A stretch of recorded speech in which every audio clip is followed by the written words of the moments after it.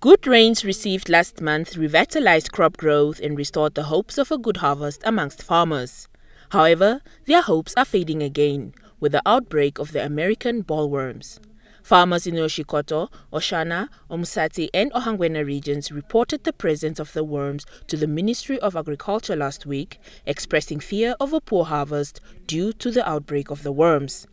Agricultural technicians in the ministry then advised villagers to use traditional methods to control the worms while they too try to control the outbreak.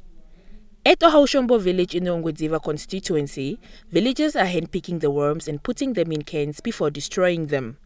They say this is just an alternative as they cannot sit idle and watch their crops being destroyed by the worms.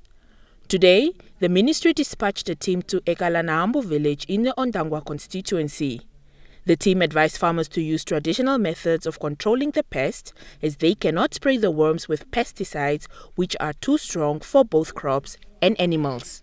After all this mobilization meeting or awareness meeting that we conducted with the farmers, uh, most of them have said no to pesticide. And of course, yes, it's a good thing.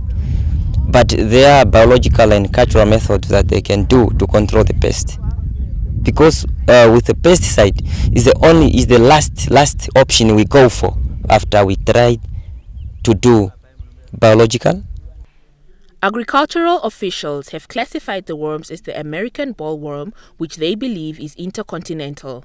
Bollworm is the common term used for the larva of a moth that feeds on the plant's fruiting bodies. Hundreds, if not thousands, of eggs are laid inside the head of an immature millet plant, and the larva feeds from inside the plant.